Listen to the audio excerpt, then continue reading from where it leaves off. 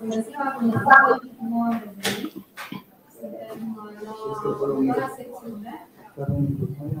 Mă auziți? Mă vedeți? Să facem puțin testările înainte.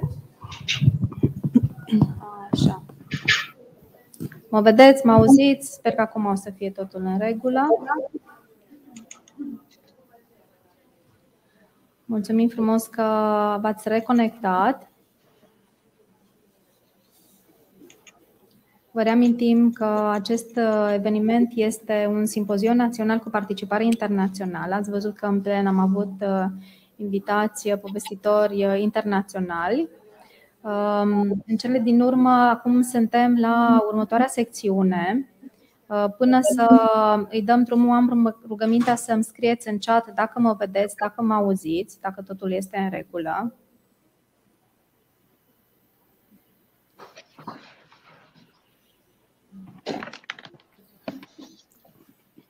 Bună ziua, bună ziua, bun venit. Am rugămintea să-mi scrieți dacă mă vedeți, dacă mă auziți, dacă totul este în regulă.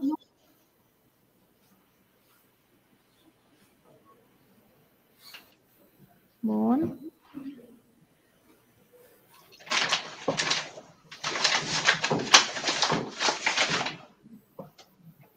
Imediat o să-i dăm drumul.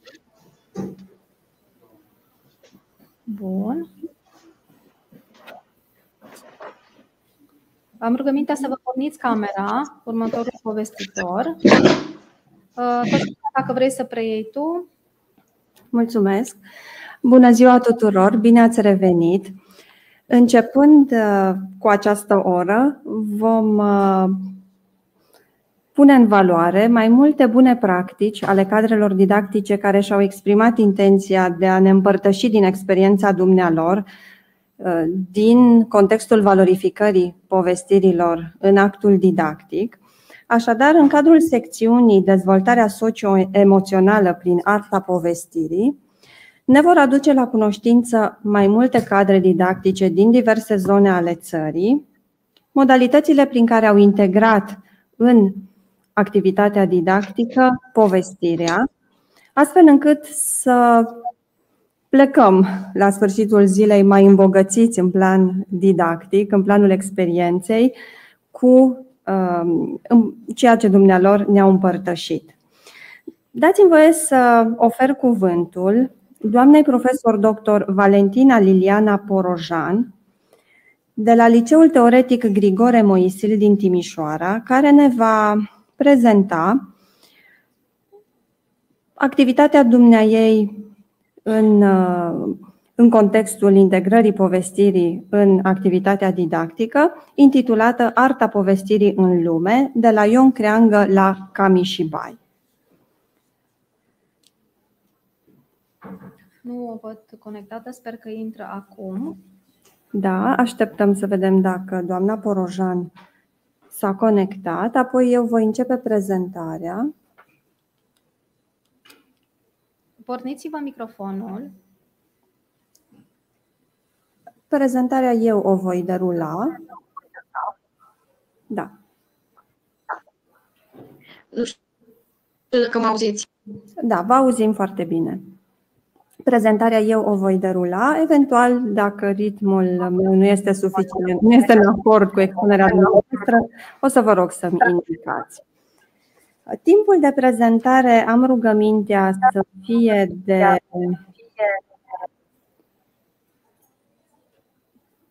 zece minute plus 5 minute de întrebări apoi. Așadar, vă dau cuvântul, doamna Porojan.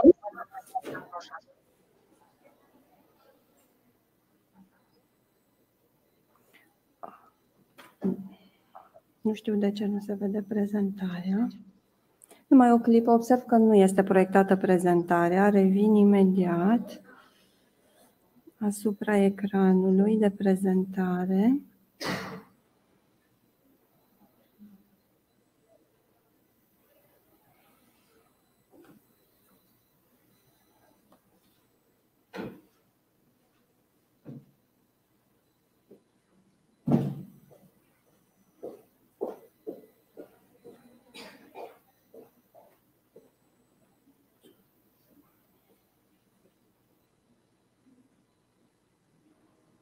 Totuși nu se proiectează.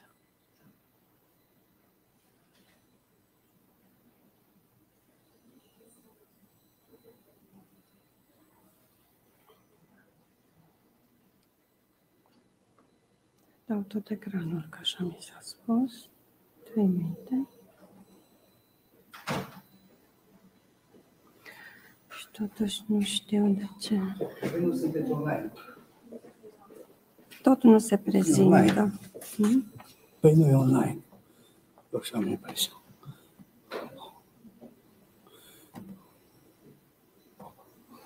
Hai să vedem, nu e online pur și simplu. Opa, pe ce sunt? Pe ce eveniment? Deci, link de conectare.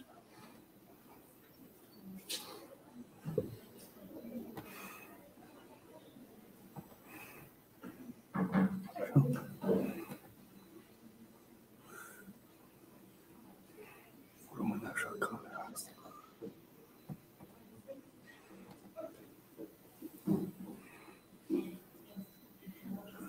Așa, și cum mai zice?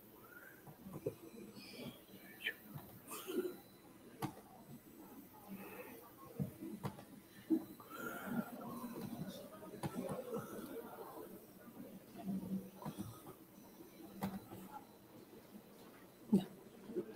Mulțumim. Am rezolvat mica problemă tehnică. Vă ascultăm, doamna Porolan.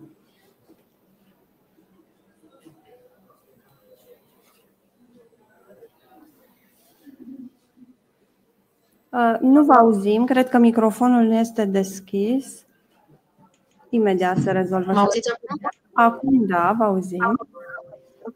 Deci, lucrarea mea este ca o punte peste continente în uh, povestire de la Ion Creangă la Arta, Cami și Bai.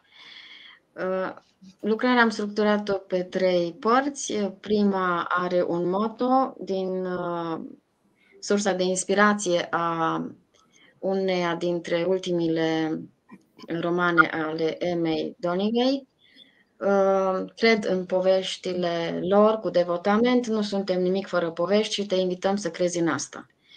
În prima parte definim și prin limitări teoretice uh, lucrăm uh, definițiile basmului ale poveștii sinonimice în chiar în subiectele programei pentru BAC. Dar până acolo spuneam că încă din primii ani ai școlii aflăm că este un cel mai mare povestitor al românilor pentru cultura noastră în vocea expresivă a lui Ion Creangă.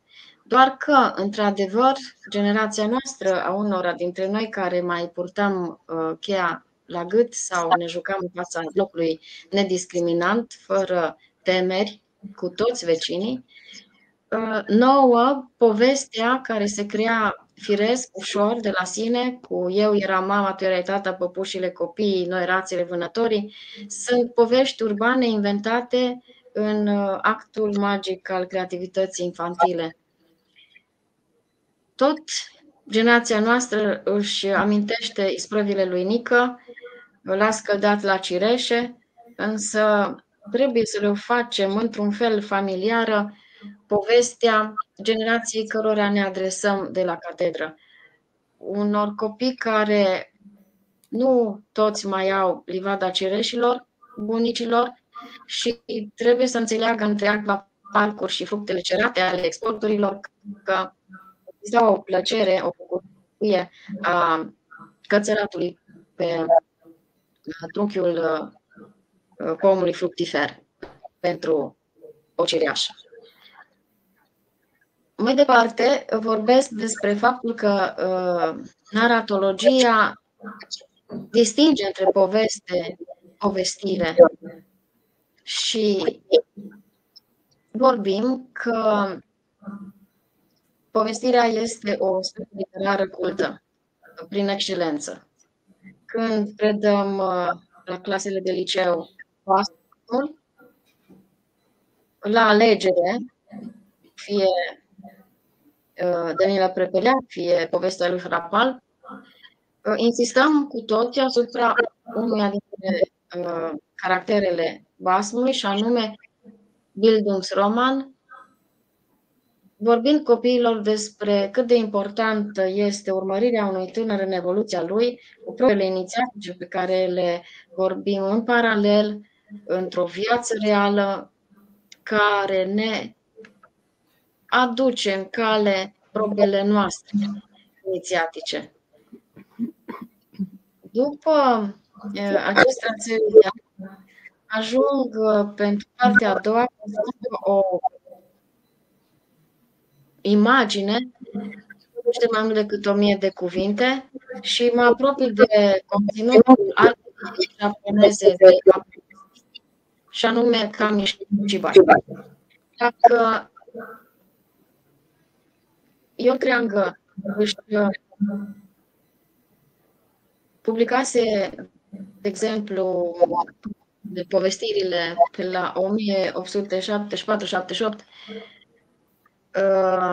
82, Arta Kami și Bai se naște undeva în uh, jurul anilor 1930-33,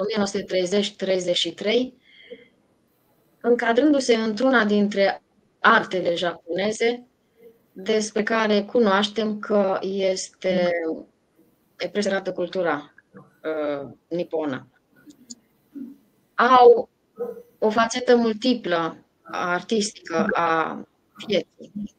De la arta de a găsi un scop în viață, ikigai, la cunoscuta ikebana, arta aranjamentelor actuale, până la aceasta kami și bai, este o, un joc de hârtie, o formă de teatru urban, stradal, o povestire populară care proliferează în anii depresiunii, 30, cum vă spuneam, în postbelicul japonez, amintește oarecum de originea teatrului grec prin uh, mască și imagine, prin simbol, prin acel țap ce uh, uh, debuta narațiunea uh, Elena.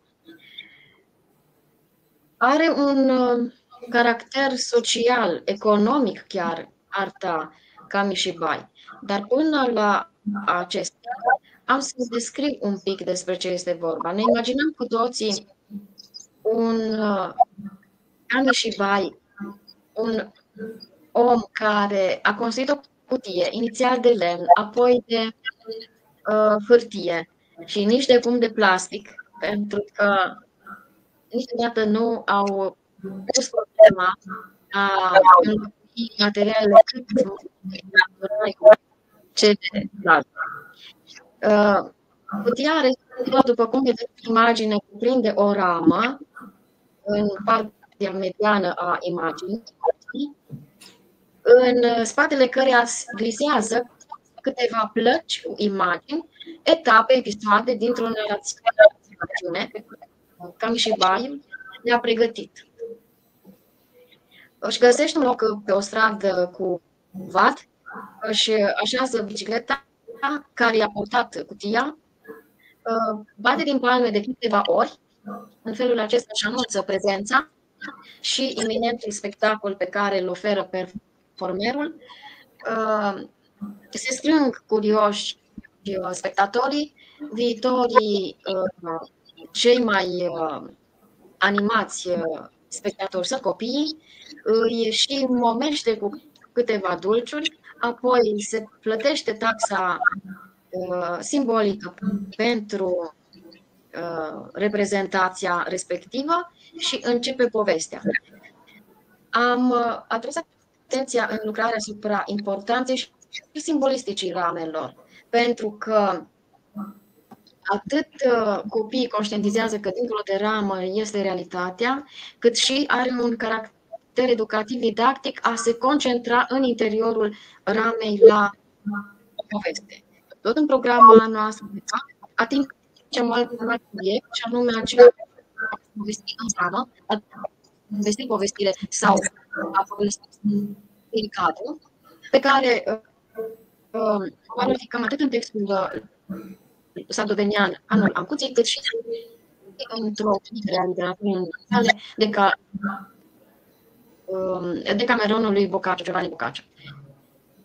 În Alta ca și bai, spuneam că există o,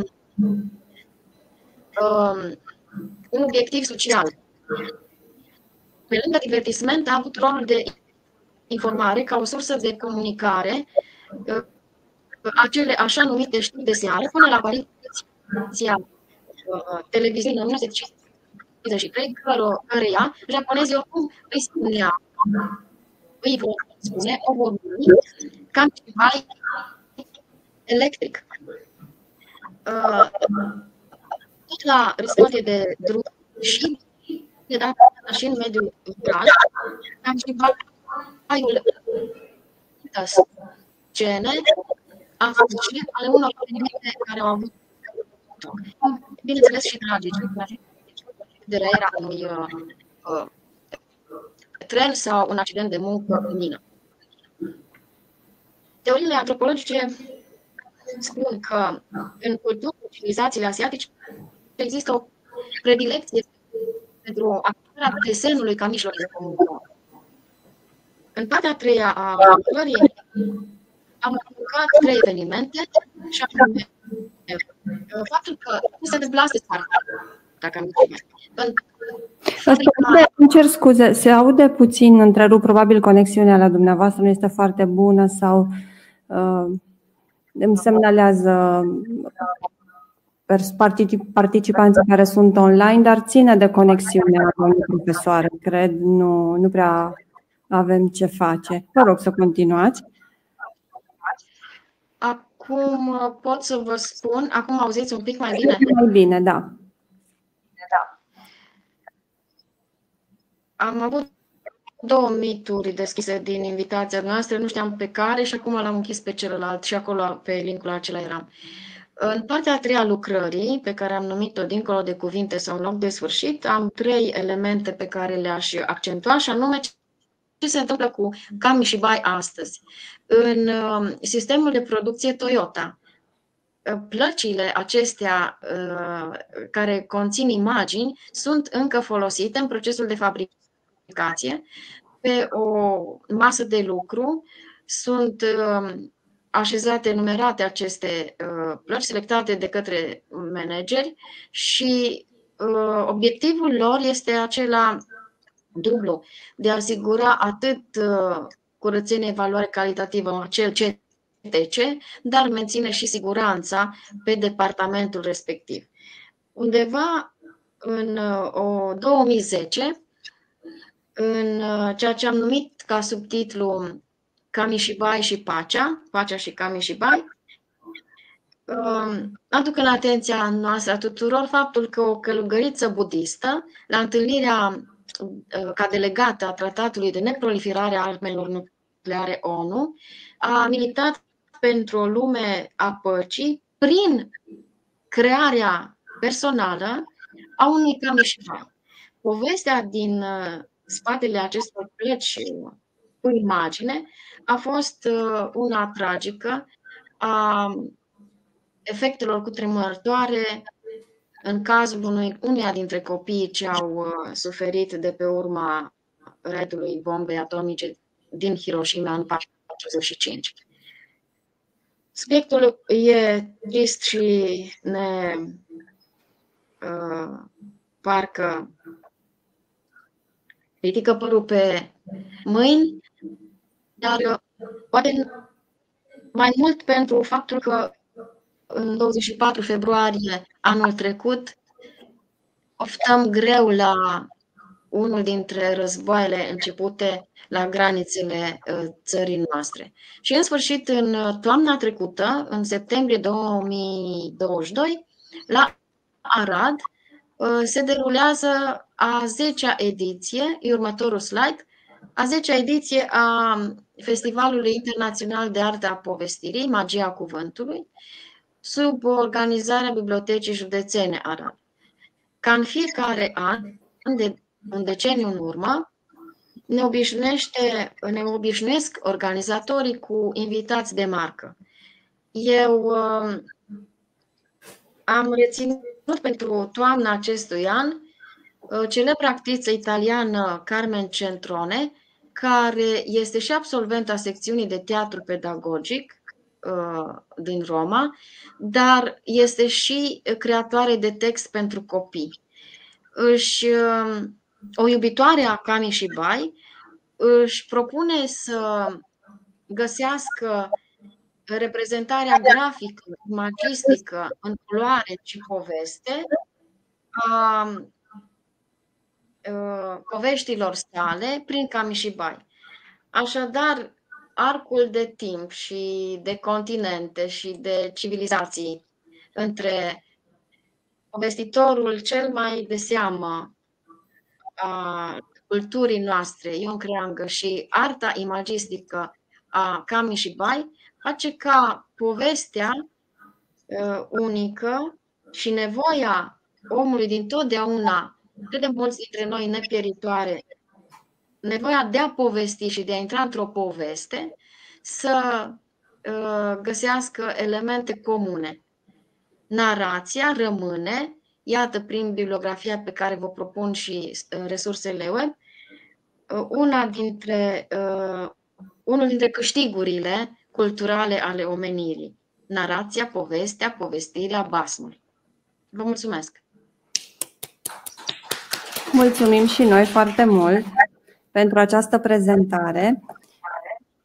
Rog participanții care sunt online, de asemenea și participanții din sală, dacă au întrebări, să le adreseze.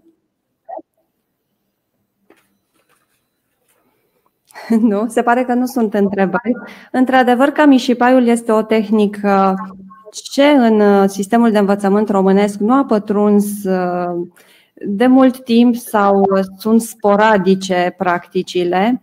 Uh, sunt o practiciană a acestei tehnici. Eu, uh, în predarea unei limbi străine, cei drept, Uh, și pot să uh, mărturisesc persoanelor care ar fi interesate de integrarea acestei, acestei tehnici în uh, predare. Un element esențial care mijlocește, să spunem, tehnica, este butaiul, așa uh, cutie de uh, lemn ce prezintă trei ferestre în care se rulează uh, planșele respective, care pe față prezintă iar pe verso replicile pe care le plătește povestitorul. Deci acest, această cutie, acest butai, poate fi cumpărat online. Sunt uh, artizani care confecționează acest uh, mijloc didactic inerent uh, integrării și practicării acestei tehnici. Vă mulțumim foarte mult pentru experiența pe care ne-ați împărtășit-o, doamna profesor Porojan. Dacă... Astăzi, într-adevăr, derulează în manga și în Keminciurai în desenele uh, actuale. Vă mulțumesc și eu. Da, domnul Manta a făcut. Mhm, lasă. Dau cuvântul în continuare doamnei uh, Laura Mariana Vultur, profesor la Liceul Teoretic Sanitar din Bistrița, care urmează să ne prezinte, să ne împărtășească o poveste din experiența dumnea ei, din cetatea lui eu în cetatea lui tu. Bună ziua, doamna profesor, ne bucurăm că sunteți alături de noi astăzi. Voi și prezenta da. materialul pe care ni l-ați transmis și vă, vă ofer cuvântul de asemenea. Bună ziua, bine v-am găsit pe toți cei uh, din offline și cei din online. Da, imediat.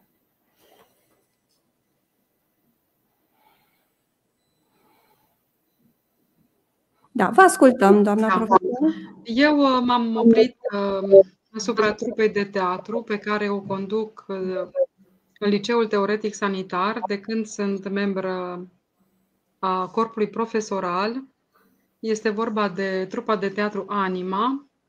Și aici observați um, trei chestiuni care ne definesc, și anume, eu sunt profesor de religie și limba franceză și consider că virtuțile creștine sunt cele care clădesc calitativ caracterul unui om și acestea merită să fie puse în valoare atât în mediul formal cât și în mediul informal sau non-formal.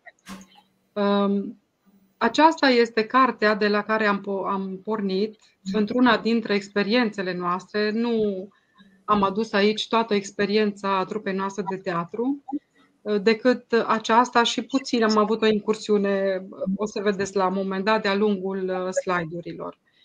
Doi am pornit uh, această trupă în anul 2004 uh, și am făcut această trupă din următoarele nevoi. Motivarea elevilor, prevenirea eșecului în educație, abandonului școlar și excluderea discriminărilor de orice fel, dezvoltarea abilităților elevilor. Um, am dat numele trupei din limba latină, anima, cred că știți și dumneavoastră, înseamnă suflet, ceea ce în limba română a dat cuvântul inimă și verbul a anima, însufleți, iar în franceză, pentru că sunt și profesor de franceză, avem uh, cuvântul am care este suflet. E foarte interesant cum popoarele de-a lungul timpului au înțeles uh, oarecum diferit aceste noțiuni. Dacă noi pentru inimă avem masculin, francezii au cœur, uh, pentru inimă avem feminin, iar francezii au cœur masculin. Uh, în cazul sufletului este invers. Noi îl simțim masculin și francezii îl simt feminin. Ziceam aici, vreau să fac o scurtă precizare că excludem discriminarea de orice fel. Vreau să vă spun că din uh, copiii pe care noi avem în imagine, uh, cu unii eu, de exemplu, nici nu mă întâlnesc la oră. Adică se întâmplă ca unul dintre copii să studieze limba germană și să fie de un alt cult decât cel recunoscut în uh, școala noastră și eu, de fapt, nu mă întâlnesc cu el la oră, dar la trupa de teatru am făcut o conexiune cu el, iertați-mă, mai bună decât cu mulți de la oră. De asemenea, am inclus în această trupă copii care au venit din Spania și care aveau uh, grave probleme în a se exprima în limba română, pentru că au învățat până la vârsta de, știu eu, 14-15 ani acolo și le era foarte greu să se exprime în limba română. Pe alți uh, dintre copii, puteți să treceți la slide-ul următor. Pe alții îi încurajez uh, să participe pentru ca să treacă de problemele sociale pe care le au în familie. Am scris aici starea precară, statutul social incert, uh, unii din plasament, etnie, probleme emoționale, aspectul fizic, dificultăți de exprimare personală și relaționare. Uh, fiecare este bine primit, nu avem prejudecăți. În momentul în care noi avem repetiții, aici toată lumea poate să-mi spună pe nume, nu doamna profesoară. Suntem egali. Piesele vreau să vă spun că le facem împreună. Uh, aici vedeți uh, una dintre reprezentațiile noastre cu această piesă din cetatea lui Eu în cetatea lui Tu. Și vreau să precizez că ceea ce vedeți aici este o inimioară. Noi așa ne-am obișnuit ca la finalul piesei noastre, unde, am, unde ne-am aflat, ceva din ceea ce au văzut sau auzit pe scenă, cei din public să primească și să ducă mai departe și să uh, știu eu, să pun în practică. Una dintre tot ce, uh, citatele pe care o să le vedeți pe aceste slide-uri fac parte din această carte, uh, citate pe care noi uh, le-am pus pe inimioare și apoi le-am dat publicului, celor din public. Ce am vizat cu aceste experimente? Am vizat competențe cognitive, crescând capacitatea de concentrare de memorare. Am vizat competențe artistice și motrice. Uh, ei au o reală, și și noi de multe ori ca dascăl, o reală uh, închistare în a ne mișca, în a fi libere în mișcări, în a ne înțelege și ne exprima corpul, gestica, mimica, competențe sociale de deschidere necondiționată către semeni și de, din dorința de a construi relații sănătoase, bazate pe respect, încredere și pe calitatea principiilor de viață și în alte valori morale. Apoi, competențe emoționale. Eu acum, să știți, sunt foarte emoționată pentru că eu sunt un om, o să vedeți mai încolo, care am crescut emoțional uh, datorită instructorului meu de teatru din perioada liceului. Eu sunt ceea ce sunt astăzi pentru că acest om a investit în mine încredere, efort și multă, multă iubire și dragoste pentru ca să ajung cine sunt eu astăzi. Competențe personale. Aici învățăm ce este responsabilitatea, stima de sine, încrederea în forțele proprii, îmbunătățirea dicției și a siguranței în exprimare, învățăm să ne autocontrolăm, să ne dozăm respirația, vorbele, să ne autoevaluăm corect, adică să ne judecăm înainte, în timpul și după actul uh, artistic și se dezvoltă de asemenea dorința de a ne autodepăși. Uh, este modul, uitați-vă, în care noi am uh, făcut scenografia sau partea de decor. Aceasta reprezintă cetatea lui eu, o cetate unde domnește mândria, unde locuitorii cetății sunt orgoliu, slavă de șart, ambiția și mâniosul, unde totul este rece, auster, la împărăteasa mândrie nu se intră decât pe bază de audiență prestabilită. Iar uh, sus avem uh, ceea ce ne spune în cetatea lui Tu, împărăteasa smerenie, discernământ înseamnă să ne cunoaștem bine pe noi înșine. Dacă inima noastră este curată, Dumnezeu ne luminează. Astfel putem să judecăm drept și să înfăptuim ceea ce este corect. Mm-hmm. Și aici uh, avem cetatea lui Tu. Vă urăm bine ați venit în cetatea lui Tu. Noi am ales unde vrem să locuim, voi. Vă așteptăm, este loc pentru tot sub soare. În cetatea lui Tu, împărăteasa locului este smerenia, iar locuitorii sunt seninătate, răbdătorul, mărinimosul, doamna bunătate, doamna discernământ. Aici, iubirea a învins, avem aici o diplomă, am luat un premiu la un festival de teatru cu această piesă. Uh, și să vă spun un pic așa în mare despre ce este vorba în această carte, pe care vă invit să o citiți cel puțin de patru ori în viață. Da, o să vedeți că de fiecare dată am constatat este cu această carte cum mi se întâmplă mie, nu știu, altora, uh, personal cu Sfânta Scriptură. De fiecare dată când o citești, îți vorbește altfel. Dacă mândria se teme adevăr, smerenia iubește adevărul. Despre ce e vorba, eroul principal, mâniosul, pleacă în căutarea alte cetăți, dar numai după ce, manifestându-și disprețul față de această călătorie, mândria îl lasă să iasă din cetate. Trecerea dintre cele două lumi este facilitată de un bătrân, un bunic înțelept, asemenea duhovnicilor. Cu ajutorul acestuia, mâniosul înțelege că dacă nu va renunța la eul lui, la egoism, nu va reuși să ajungă unde își dorește. Recunoaște, deci, că are nevoie de ajutor, deci lasă eul jos. Smerenia este cea care îl încurajează, îl sprijină și îl primește în cetatea ei. El află abia mai târziu că această ființă simplă, suavă, e însă și împărăteasa locului. Că trăiește într-o căsuță modestă, că este învățătoarea tuturor, nu numai a copiilor. Oricine o poate vizita, oricând, fără a prestabili o audiență. Mirarea mănosului este și mai mare când află că însă și împărăteasa smerenie nu ia decizii singură, ci se consultă cu doamna discernământ. Ei, după multe peripeții, mâniosul nu vrea să mai plece din cetatea lui Tu, e așa de bine acolo, încât chiar și atunci când pleacă, el se întoarce în cetatea lui eu doar pentru a îi aduce și pe locuitorii de acolo în cetatea lui Tu. Aici observați cum lucrăm cu toții la decoruri.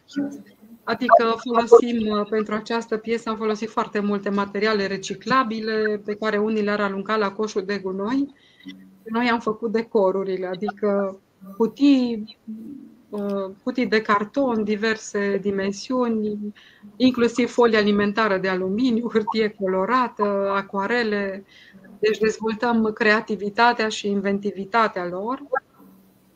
De asemenea, pentru că această piesă s-a adresat inimii și dezvoltării emoționale, am găsit o poezie foarte frumoasă, nu am acum timp să vă spun toată, v-am pus aici doar un fragment, pe care noi am spus-o la finalul piesei, îndemn și în momentul în, moment în care uh, protagoniștii piesei au împărțit în scenă mici citate din această carte. Spuneți inimii să lupte pentru cauza cea frumoasă, adevărul de rușine Dumnezeu în veci nu-l lasă, nici iubire înjosită, nici dreptate încălcată, ce luptă pentru ele, fie sigur de orice dată. Și um, aici, uh, iarăși, un citat frumos pe care îl spune Smerenie. Oricâte dorințe am avea, e bine să punem o limită, să facem în așa fel încât uh, ne vom bucura de ceea ce avem și să știm ce alegem mai departe. La final, în loc de concluzie, eu aș vrea să vă fac o mărturisire, cum ziceam la început, în calitate de cadru didactic, sunt produsul a ceea ce am descris mai sus, cu nețărmurită recunoștință, gândurile mele se îndreaptă către instructorul meu de teatru din perioada liceului. Eram o adolescentă cu multe complexe, am fost ținta bullying-ului și aici v-am pus câteva uh, imagini cu mine din liceu. Eram în clasa 11, am vis unei nopți de vară meșterul. Aici Zoe Cațavencu, în clasa 10 și aici uh, împărtășind emoțiile înainte să intrăm în scenă cu toată trupa. Și asta este provocarea pe care vă fac cu vouă tuturor celor care ne urmăriți, că binele se poate înfăptui când vom înceta să mai spunem minciuni, când vom învăța să ascultăm de glasul conștiinței și de glasul inimii. Vă mulțumesc și vă mulțumesc tuturor! Vă mulțumim și noi foarte mult pentru că ne-ați împărtășit din experiența și din activitatea dumneavoastră. Dacă sunt întrebări, fie din mediul online, fie din sală, este admirabil ceea ce faceți și, desigur, valorile morale etern valabile se cuvine să le, să le cultivăm în rândul tinerei generații. Este permanentă trupa? Întreabă. Da, da, da, este permanentă. Anul acesta am, am reușit să facem uh, un moment de nașterea Domnului, Irod și Crai. Uh, urmează la final de an să pregătim altceva. Uh, sugerează o participantă din sală că ar fi frumos să vă așteptăm și în Timișoara. Da, mulțumim! O, o reprezentație. Mulțumim, doamna profesoară, și felicitări pentru ceea ce faceți. În continuare, dăm cuvântul doamnei Simona Câmpan, profesor doctor la Câjăraie Sibiu. Dacă este alături de noi, doamna profesoară. Da, se pare că nu este. Ah, sau? Trebuie să vă porniți camera și microfonul. Camera și microfonul să-l porniți dacă sunteți conectată, vă rugăm. Doamna să mai sun din nou. Câmpian. Așteptăm puțin să vedem cum se vor soluționa micile probleme tehnice care uneori lucrează în defavoarea noastră.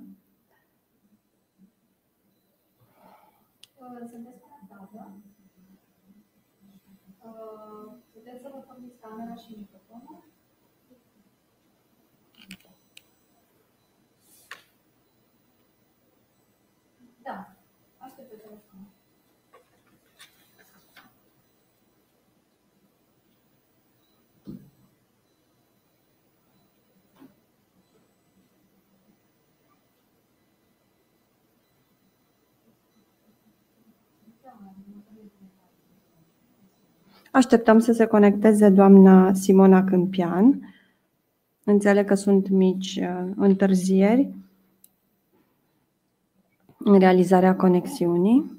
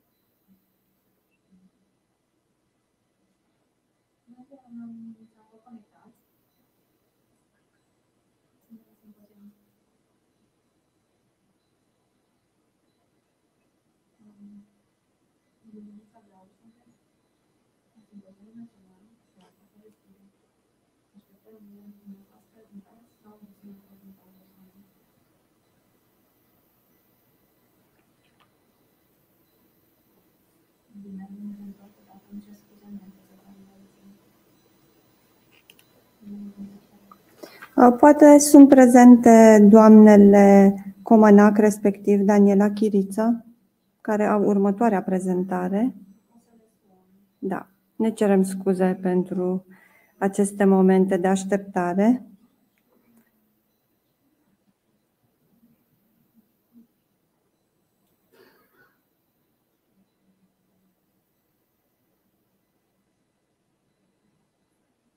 Da.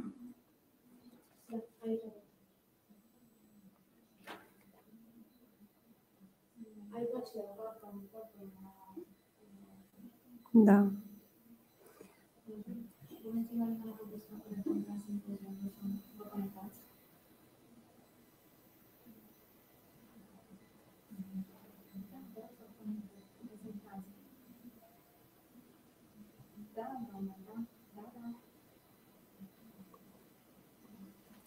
Cine este doamna care se va conecta?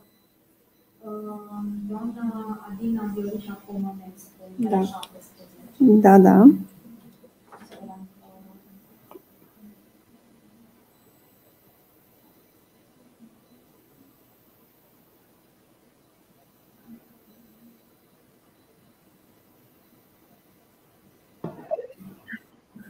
Bună ziua!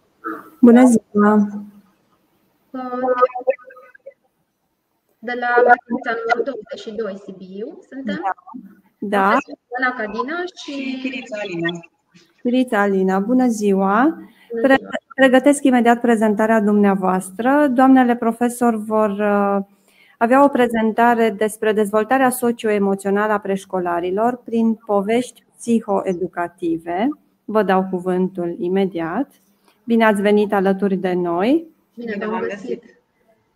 Și așteptăm cu nerăbdare să ne împărtășiți din experiența dumneavoastră cu cei mai mici dintre educabili.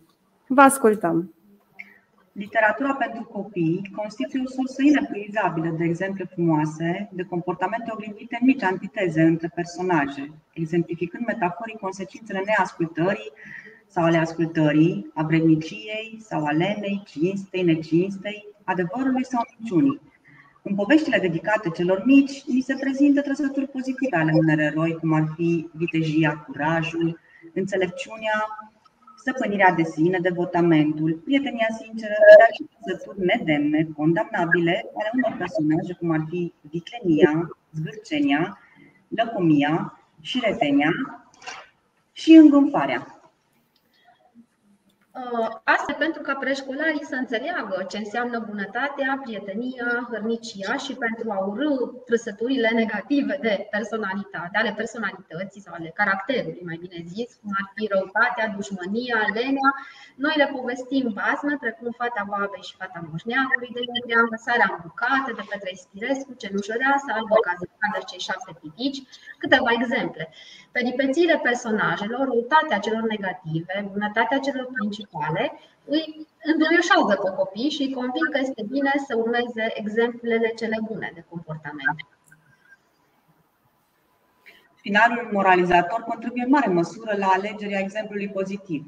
astfel că povești precum Ionica Mincinosul, cu fal și cu gri îi determină pe cei mici să spună adevărul și să urască minciunii. Neascultarea părinților, încăpățânarea și consecințele acestora se reliefate de precum celebra Capra cu trăiesc de Ion Creangă, Scufița roșie de Charles Perrault, povestea măgărușului încăpățânat. Pățănile personajelor i-au convins pe copii că trebuie să asculte sfatul părinților și că nu este bună încăpățânarea, urmările ei unele negative. Ascultând aceste povești, copiii trec prin stări emotive diferite, de la teama pentru răul care ar putea să o piardă pe eroina îndrăgită, la bucuria că a scăpat cu bine din toate încercările pricinuite de personajele negative. Valoarea educativă a poveștilor constă în reliefarea unor calități morale cu care sunt înzestrate personajele pozitive. Curaj și vitejie, hotărâre și perseverență, îndeplinirea țelului, spirit de dârzenie și tărie în înfrângerea piedicilor și a greutăților. Poveștile îi ajută pe copii să ia decizii proprii, să învețe diferența dintre bine și rău, să-și exprime propriile sentimente și emoții mai bine, să se exteriorizeze, să-și dezvolte încrederea în forțele proprii, să-și îndrepte atenția către aspecte pozitive ale vieții, frumusețe, bucurie, dragoste, dar fără a exclude partea negativă, să dezvolte viața afectivă îi ajută să aibă acces la sentimente și trăiri specifice personajelor și să le transpună în viața de zi cu zi. Din experiența noastră la clasă am observat că alături de jocul didactic, poveștile ocupă un loc uh, esențial și fie că sunt expuse oratoric, fie că sunt citite, joacă un rol esențial în educația și dezvoltarea copiilor. Dintre formele moderne și flexibile de realizare a integrării școlare se numără și utilizarea poveștilor terapeutice. Noi am avut anul trecut proiecte și am lucrat foarte bine cu cei mici, povești cărora le-am acordat un loc aparte în desfășurarea activităților de la grădinița noastră, integrându-le în deosebi în activitățile pentru dezvoltare personală, dar nu numai, am făcut și proiecte. Cartea doamnei psiholog Valeria Ecaterina Purcea, Povești din ghiozdanul meu, mi-a fost la îndemână în acest sens, Doamna este psiholog în cadrul Centrului Școlar de Asistență și Resurse Educaționale, este directorul și am participat la un curs în care dânsa ne-a prezentat uh, cartea pe care a elaborat-o și ne-a și pus-o la dispoziție și de aceasta ne-a fost la îndemână. Mm. Din această carte avem povestea Răducu și Furnicuța înțeleaptă, de unde copiii au aflat cât de important este să fim organizați, temperați, echilibrați și faptul că a fi repezit, neatent, ne poate împiedica de multe ori să ne, atinde, să ne atingem scopul. De asemenea, cei mici au concluzionat că este important să ne oprim din grabă, ca în poveste, să nu ne pripim, să ne gândim și abia apoi să reacționăm, formulând îndemnul oprește-te, gândește și abia apoi acționează. Da, copiii au fost uh, foarte încântați de a asculta această poveste cu Răducu, care era un copil isteț, curios și foarte interesat de tot ceea ce se întâmplă în jurul său. Singura lui problemă era faptul că știa prea multe, dar nu le putea spune pe toate dintr-o dată. Când doamna învățătoare le întreba ceva la școală, se repezea să răspundă. Cuvintele îi se bulceau încă, ieșeau neterminate, pozițiile se împiedicau unele de altele un copil uh, care avea nevoie să fie mai organizat și așa copiii au înțeles. El întâlnind furnicile, a observat că și ele se mișcă repede, dar în mod organizat și au învățat că trebuie înainte să acționeze, să se oprească și să gândească. În povestea O inimă bună, din aceeași colecție, copiii au fost alături de Maxi, un cățeluș tare simpatic și cu minte, care a fost respins la joacă de alți cățeluși din pricina blăniței cu pete albe și negre. Însă Ringo, un cățeluș cu blană aurie, s-a dovedit a fi prietenos și l-a introdus în joc, fiind acceptat astfel și de ceilalți. Maxi a mărturisit lui Ringo, în finalul poveștii, că nimic nu poate fi mai minunat decât, decât inima unui prieten bun. Copiii se regăsesc de multe ori în astfel de situații și astfel de povești impulsionează să fie mai atenți și cu copiii care sunt câteodată marginalizați. Utilizarea acestor povești terapeutice ajută la înțelegerea propriei persoane, la dezvoltarea empatiei, la învățarea din experiența altora sau la găsirea unor soluții pentru unele probleme. De asemenea, în cadrul acestor activități, noi am încercat să-i ajutăm pe copii să aibă o perspectivă pozitivă asupra copiilor cu cerințe educaționale speciale, cu nevoi specifice. Încercând să să învățăm să-i accepte, să nu îi stigmatizeze, să nu-i eticheteze și să împiedicăm discriminarea sau segregarea celor care au deficiențe. De asemenea, în cadrul proiectului celor de la ovidiu.ro am citit copilor povești pro-diversitate, tema diversității fiind o temă foarte importantă în societatea contemporană, întrucât copiii sunt expuși în primul an, în primii ani de viață în diversități fizice, culturale, socioeconomice, pardon, socioeconomice.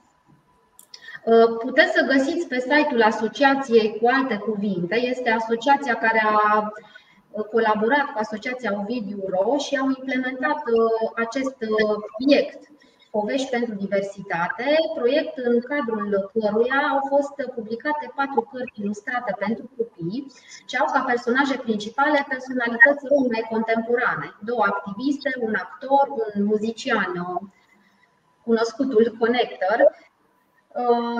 sunt poveștile lor de viață scrise de către nouă tineri de etnie romă. Aceste patru cărți uh, ne provoacă atât pe noi adulți cât și pe copii să vedem dincolo de stereotipurile legate de romi și să descoperim oameni deosebiți care trăiesc în prezent și care sunt un model de perseverență, de asumare de generozitate. generozitate. Proiectul se numește Roma S Heroes și cărțile au fost publicate în septembrie 2022. Cele patru cărți sunt, uh, apar acolo, vă citim, dacă dați un pic înapoi, titlurile lor. Clopoțelul lui Nico, să da. spui o dorință.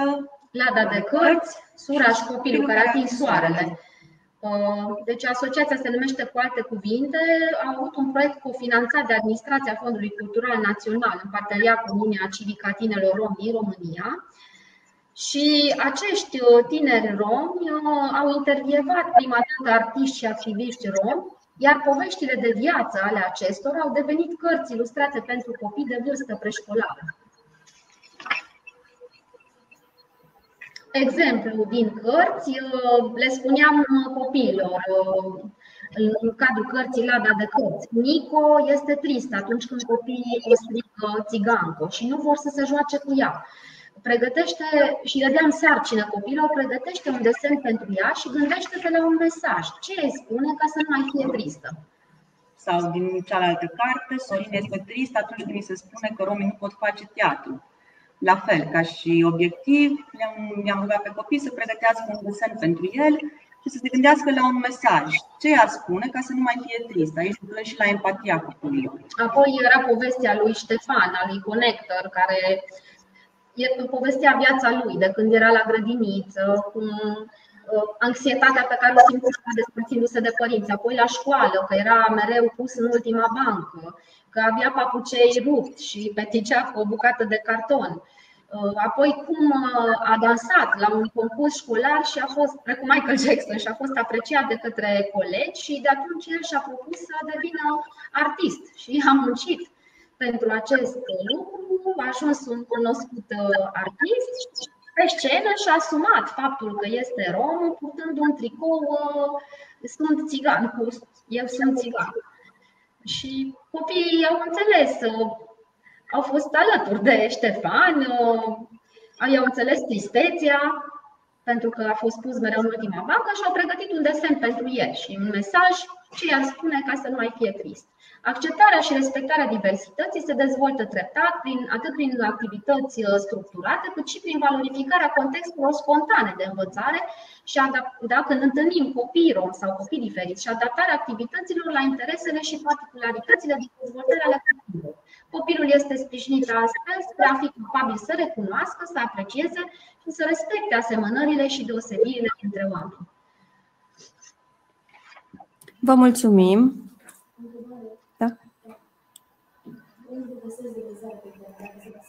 Dacă se găsesc aceste cărți spre vânzare, spre achiziție, Să știți că le găsiți în format digital uh, pe site-ul www.cualtecuvinte.ro uh, în format de, uh, nu le găsiți în librării, dând și în cadrul proiectului pe care l-au avut cu Ovidiu Ro, au împărțit, au distribuit gratuit unor grădinițe și școli aceste cărți, dar nu le găsiți decât în format digital, acum pe site și le puteți imprima.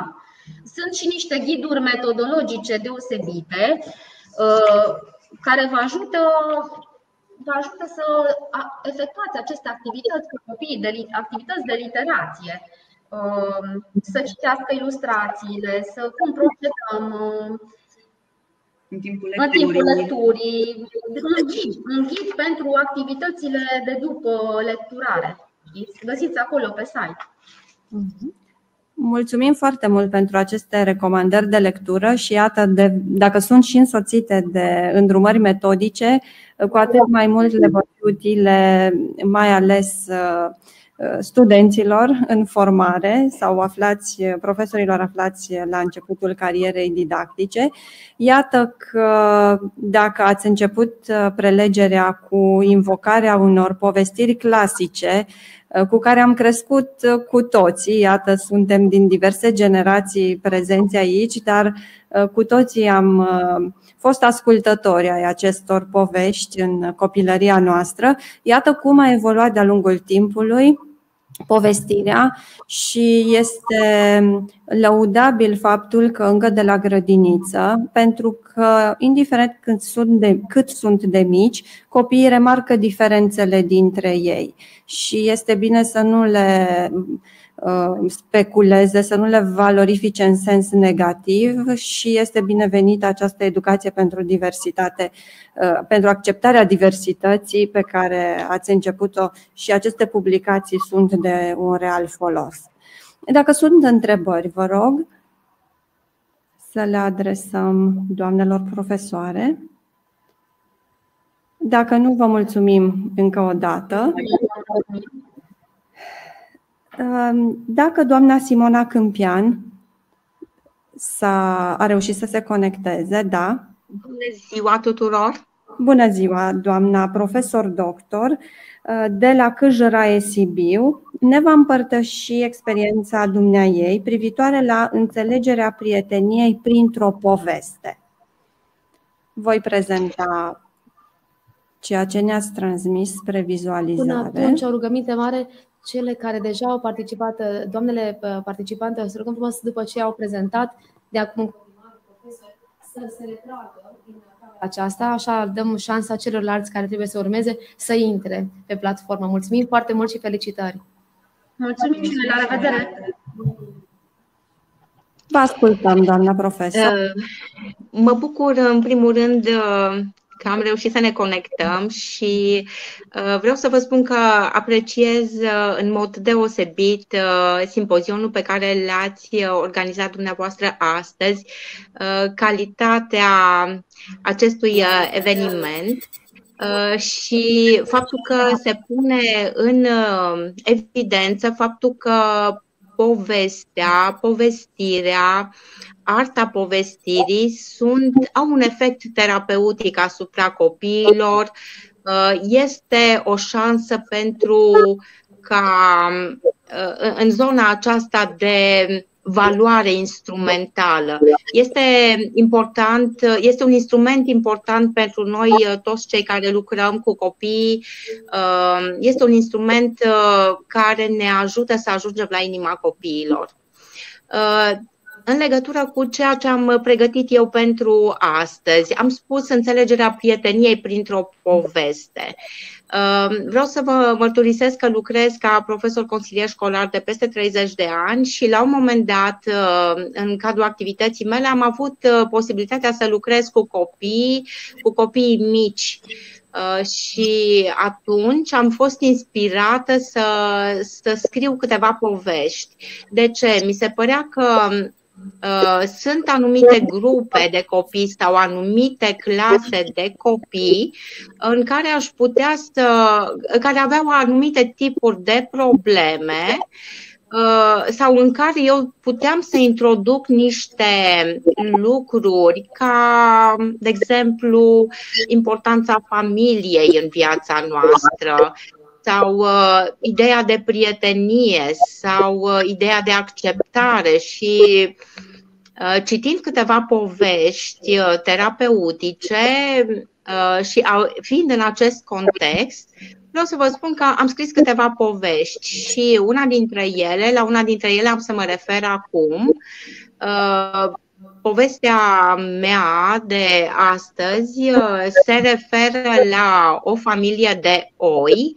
Știu că oaia este un, uh, un animal drăguț, un animal plăcut copiilor, este un animal blând și atunci mi-am imaginat uh, că există o familie de oi, mamă, tată și doi copii, un băiețel numit As, o fetiță care se numește Ela și ei uh, trăiesc uh, fericiți pe o pajiște și uh, am creat această atmosferă frumoasă, zic eu, în care copiii se simt bine și se regăsesc.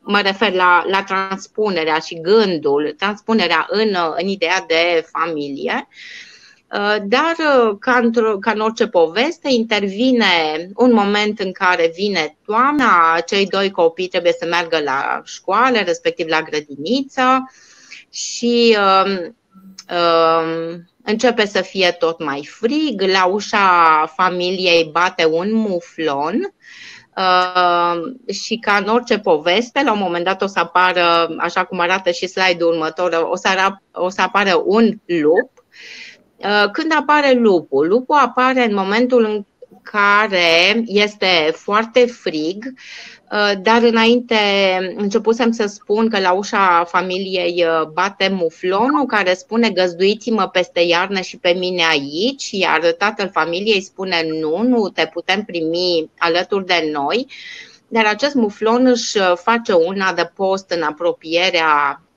locuinței acestei familii iar uh, în momentul în care se produce acel incident într-o dimineață cu multă zăpadă și cu ger, când cei doi micuți se duceau la uh, grădinița respectiv la școală, uh, lupul cel rău aleargă cei doi copii și bineînțeles că sare muflonul și îi apără pe cei doi și reușește să le apere viața, să, să-i scape cu viață după acest uh, incident uh, dramatic.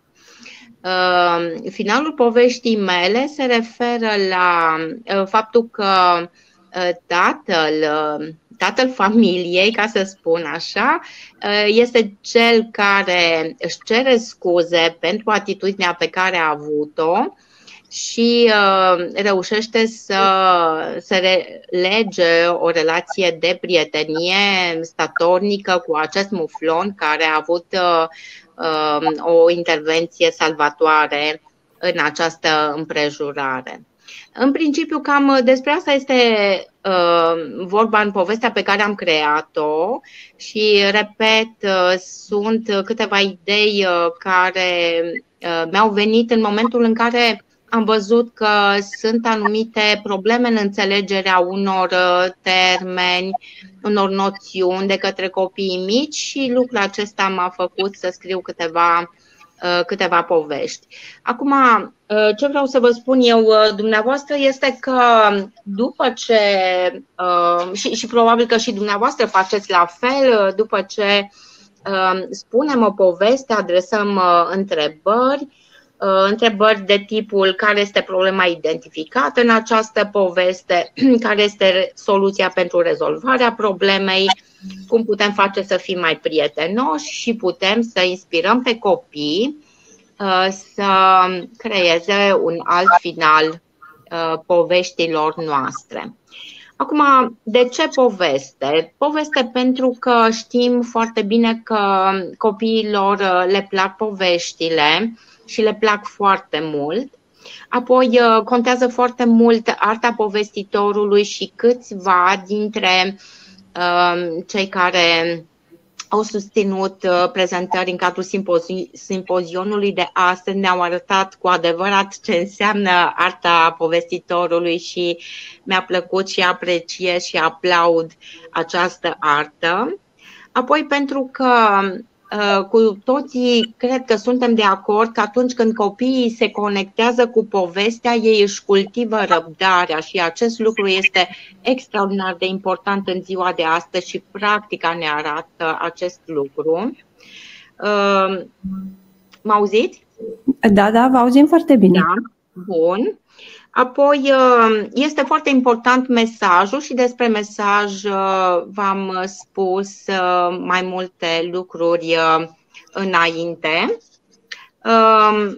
Ce vreau să vă spun este, în continuare, este că lumea poveștilor din punctul meu de vedere și cu siguranță și din punctul, de, ă, punctul dumneavoastră de vedere ne creează o stare de bine. Adică și noi ne simțim bine când spunem povești, dar dacă reușim să introducem pe, în poveste pe copii și ei se simt foarte bine și se relaxează, nu mai sunt atât de nervoși, nu mai sunt atât de tensionați ă, și lucrul acesta ne creează în clasă o atmosferă plăcută de lucru Uh, lumea poveștilor este o lume mai bună uh, și spun asta pentru că știm că, din păcate, uh, relațiile dintre copii au tendința să fie mai să fie tensionate, să fie destul de încordate și atunci este nevoie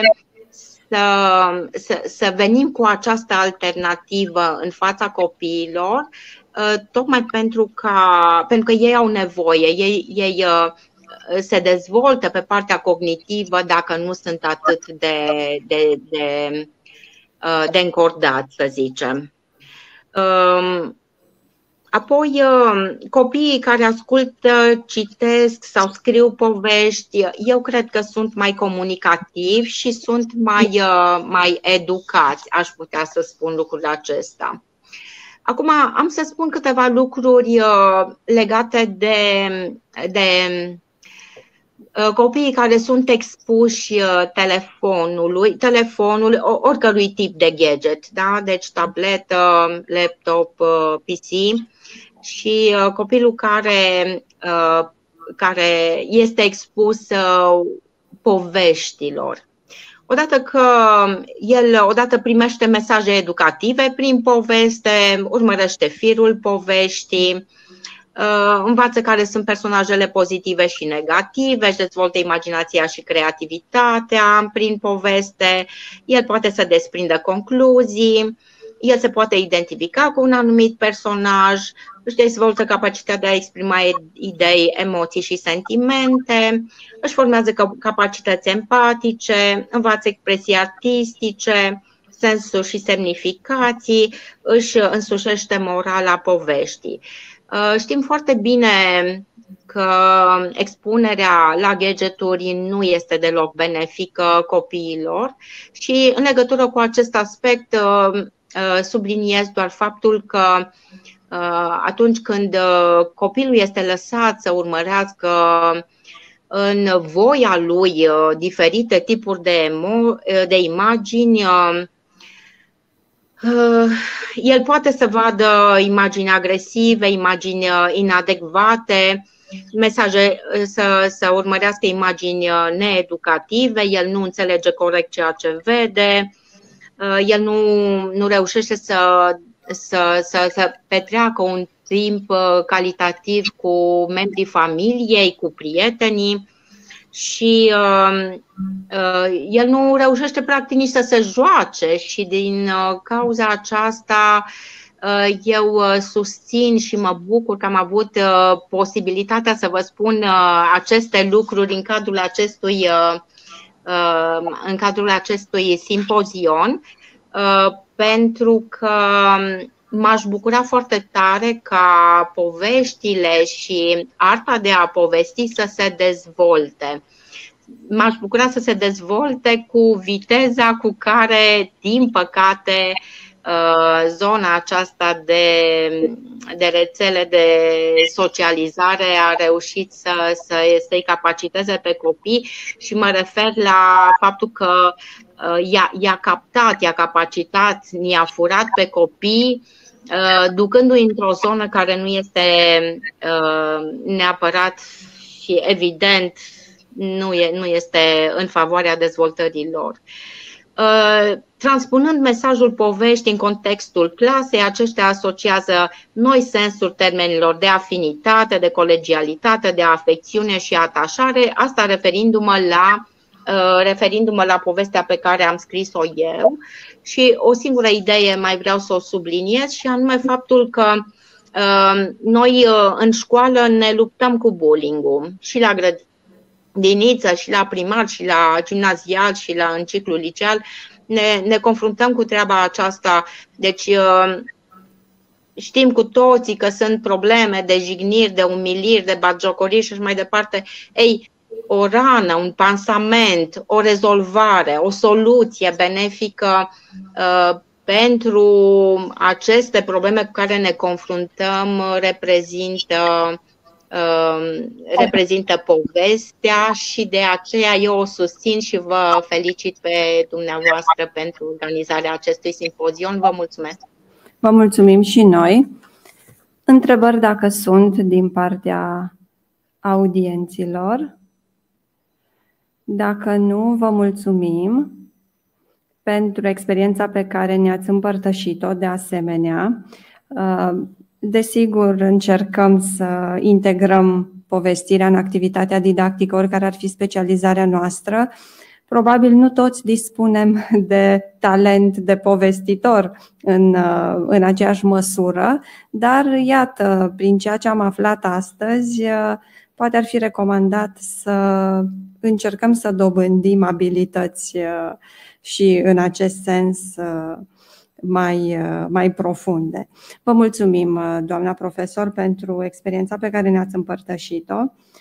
Dau cuvântul doamnei profesor pentru învățământul primar Lăcrămioara Gherguț, de la Liceul Teoretic Traian Vuia, din Făget, județul Timiș, care ne va vorbi despre modalitățile prin care putem utiliza povestirea în învățarea socioemoțională.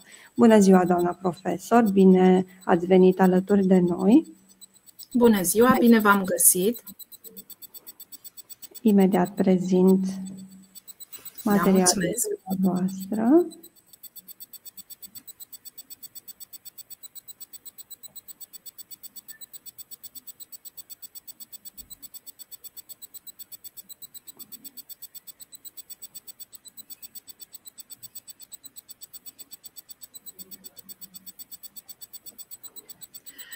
Da. Mulțumesc, mulțumesc. Uh, deci astăzi mi-am propus să vă vorbesc despre cum putem utiliza povestirea în învățarea socioemoțională cu câteva exemple din uh, învățământul primar, uh, mai ales în cel simultan. Încep cu definirea conceptelor de învățare socioemoțională și cea de competență, care sunt termeni relativ noi în domeniul educației. Trecem mai departe și la următorul slide analizăm acest termen de competență, o triadă multifuncțională între cunoștințe, abilități uh, și atitudini, de care cu toții avem nevoie pentru a avea o viață împlinită. În slide-ul următor um, am uh, evidențiat două definiții, practic, Uh, una dintre ele regăsită în cadrul european de referință privind învățarea pe tot parcursul vieții. Aici, uh, termenii de competențe personale, sociale și de a învăța să înveți fac referire la capacitatea de a reflecta asupra propriei persoane, de a gestiona uh, timpul și informația în mod eficient, de a munci în echipă, constructiv, de a păstra reziliența și gestionarea propriului proces de învățare sau al carierei. Celălalt Cealaltă definiție a învățării socioemoționale uh, este preluată de la, de, din modelul Cassel, care are cinci componente de bază, conștiință de sine, managementul propriilor resurse, conștiință socială, abilități de relaționare și luarea deciziilor responsabile. Uh, în continuare, aici am, uh, prezent, am pus imaginea practic învățării socioemoționale SEL, Social Emotional Learning, care are drept scop promovarea abilităților sociale și emoționale în cadrul programelor școlare. Acest model poate fi predat și aplicat în diferite etape de dezvoltare, de la copilărie până la maturitate și în diferite contexte. Mai departe, mai departe, observăm că baza învățării socioemoționale, după cum știm, o reprezintă interacțiunile cu ceilalți și imitarea comportamentelor. Uh, nu de uh, fiecare, și aici vorbim de uh, familie și de grupul de joacă al copilului, care ambele reprezintă modele de preluat de către copii și nu de puține ori aceste exemple de comportament nu sunt dintre cele mai sănătoase, mai funcționale. În slide-ul următor am evidențiat acest lucru că pentru unii elevi singura lor șansă de normalitate, între ghilimele, poate fi familia din, din sala de clasă, și aici rolul nostru al profesorilor în gestionarea mediului de învățare, în crearea unui cadru de învățare potrivit sau alegerea strategiilor didactice optime, sunt pârghii prin care putem facilita o învățare socioemoțională sănătoasă. În uh, slide-ul următor uh, am uh, punctat un pic despre povestire ca metodă de învățământ utilizată în cadrul orelor de curs și datorită faptului că povestirea are această caracteristică specială de a pătrunde în inima celui care ascultă, de a-l transpune într-o lume diferită. Clar poate contribui la formarea competențelor socioemoționale prin valoarea informativă și formativă o are, Um, și um, funcționalitatea povestirii, aplicabilitatea ei în sala de clasă este evidentă, uh, doar în orele de limbă și comunicare, dar și în cele de dezvoltare personală, educație civică, istorie, matematică sau desfășurarea de diferite activități extracurriculare care au drept scop dezvoltarea socioemoțională. Mm, știm prea bine că noi nu transmitem ca profesori doar cunoștințe, dar transmitem și valori morale și modele de viață, care sunt preluate ca uh, puncte de reper de către elevii noștri. Uh, și, de asemenea, elevii învață de la noi, din ceea ce suntem noi și învață și din comportamentele personajelor povestirii, din, uh, pot imita comportamentele lor și faptul prin, cum pot face ea, ține foarte mult de modul în care noi prezentăm un anumit personaj, o anumită poveste. Uh, utilizarea povestirii în diverse etape ale lecției, precum captarea atenției, prezentarea noului conținut sau retenția și transferul, pot asigura eficiența actului didactic la clasă și atingerea obiectivelor propuse.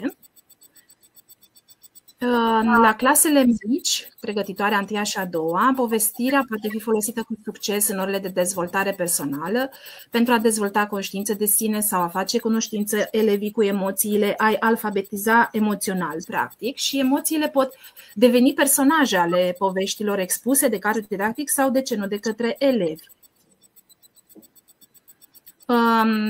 În desfășurarea unor proiecte educaționale interdisciplinare Uh, care să aibă la baza metodei povestirii, metoda povestirii pot influența enorm de mult formarea competențelor socioemoționale, mai ales dacă forma de organizare uh, este uh, sub formă de echipă de, de lucru, așa cum este evidențiat în imaginile acestea și cele care au fost în anterior.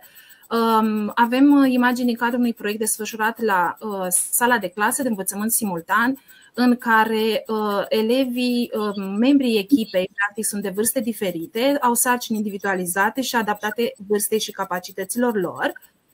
Um, în slide-ul următor uh, am dat aici un exemplu că în învățământul simultan povestirea poate fi folosită de către elevii mai mari în învățarea transgenerațională sau de tip tutor-peer, în cadrul unor proiecte educaționale sau cluburilor de lectură. Astfel, elevii mai mari pot fi povestitori cei care transmit conținut uh, poveștilor colegilor din clasele mai mici. În, um, ca extensie sau diseminare a povestirilor parcurse în grup, se pot organiza activități de dramatizare a poveștilor, în cadrul cărora elevii mici pot fi implicați activ în aranjarea decorului, de exemplu, în confecționarea propușilor, a invitațiilor, sau a biletelor pentru spectacol, iar activitatea se poate uh, încheia cu un maraton al povestirilor realizate de elevii mai mari pentru elevii mai mici. În modul acesta putem forma competențe socioemoționale, precum gestionarea timpului, a resurselor, stabilirea de relații cu ceilalți, colaborarea, munca în echipă, uh, compasiunea, empatia, sunt doar câteva dintre aceste competențe care se pot forma astfel. Și aici uh, am, uh, doresc să prezint un proiect care s-a desfășurat la noi la școală anul trecut, în vacanța de vară, școala de vară, Aventura Curajoșilor, timp de o săptămână, în care am avut drept obiectiv principal dezvoltarea abilităților socioemoționale și a unei comunicări orale și scrise coerente, logice și cursive, prin activități de lectură și povestire din cadrul programului. Eu am atașat și un mic filmuleț, nu știu dacă va funcționa, dacă puteți să-mi confirmați. Nu, nu merge, nu? Acesta care este acum pe ecran? Da, da. Doar nu, nu. Se pare că e doar sub formă de poză, ne apare. Da, nu. da, da, da. Uh, nu, nu. Da, din, uh, din păcate, da, eu am testat un pic și nu, mie nu mi-a funcționat din uh, filmulețul. Erau imagini, aș putea doar un pic să desfășor oral, da, da, imagini din, uh, de pe uh, parcursul uh, acelei săptămâni de școală de vară Uh, fiecare zi a avut, uh, adică uh, zilele au avut aceeași structură și începea cu momentul de lectură de dimineață, după care pe parcursul zilei s-au desfășurat diverse activități legate de povestea citită de către elevii mai mari sau de către voluntari. Și am constatat că toți elevii, deși au, nu au fost doar elevi de la, de la mine, de la clasă, au fost și din alte școli, sau um, um, copii din, din localitate care erau veniți în vacanța de vară la bunici. Uh, s-a creat o, o legătură foarte strânsă între ei, s-au împrietenit destul de rapid și au colaborat foarte frumos la toate activitățile desfășurate, iar aceste momente de, de lectură și de povestire ulterior uh, au fost uh, extraordinar, adică au avut un impact foarte mare asupra lor pentru că au stat atât de cuminți și cu o atenție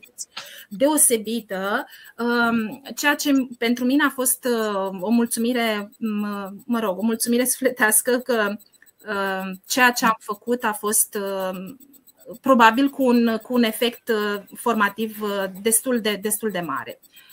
Vă mulțumesc! Vă mulțumim și noi! Vă mulțumim că de asemenea ne-ați împărtășit din experiența dumneavoastră și de asemenea ați împărtășit participanților la întâlnirea noastră. Dacă sunt uh, întrebări,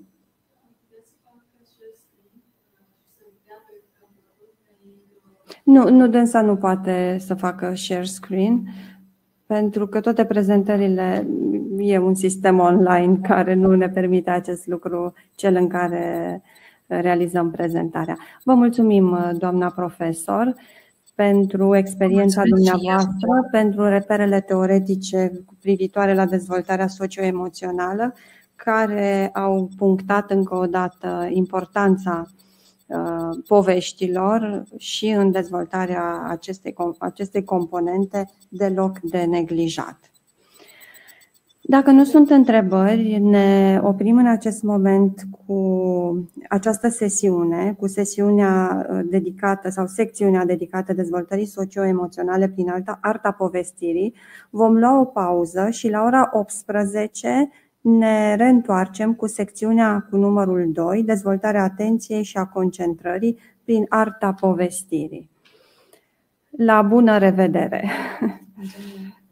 Mulțumim frumos, ne revedem la ora 18.